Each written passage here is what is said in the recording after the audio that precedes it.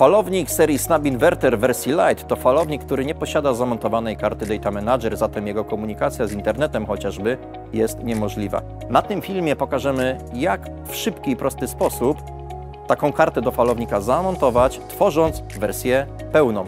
Czynność taką może wykonać dowolny instalator, zajmie mu to myślę maksymalnie 5 minut. Odkręcamy obudowę falownika.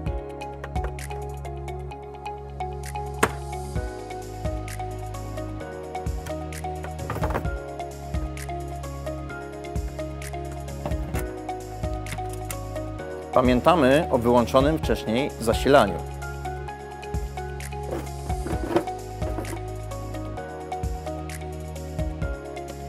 Data Manager 2.0 nowiutki w pudełku.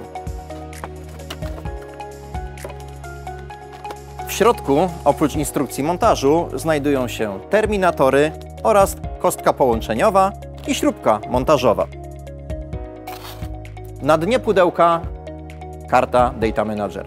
Przed wykonywaniem jakichkolwiek czynności we wnętrzu falownika należy skorzystać z opaski wyrównującej potencjały między nami a metalowymi częściami wewnątrz falownika. Przed montażem karty Data Manager wyłamujemy plastikową zaślepkę z wnętrza falownika.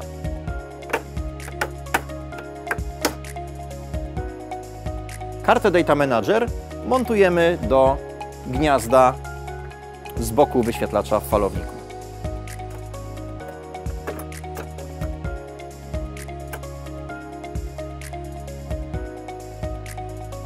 Korzystając z wkrętaka dynamometrycznego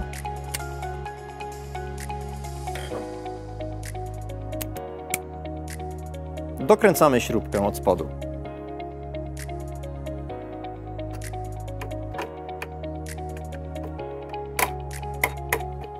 Wpinamy kostkę komunikacyjną do gniazda w Data Managerze oraz dwa terminatory w gniazdo in-out, umożliwiając w ten sposób wymianę danych pomiędzy kartą Data Manager a falownikiem.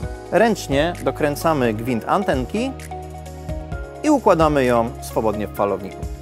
Karta Data Manager 2.0 zainstalowana w falowniku pozostaje zamontować obudowę falownika i oczywiście na końcu skonfigurować kartę do połączenia z internetem.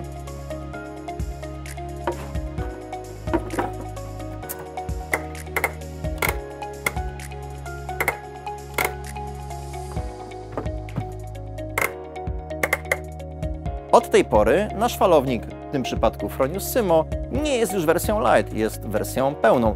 Warto jeszcze podkreślić, że czynność montażowa Data Managera 2.0 nie narusza w żaden sposób warunków gwarancyjnych.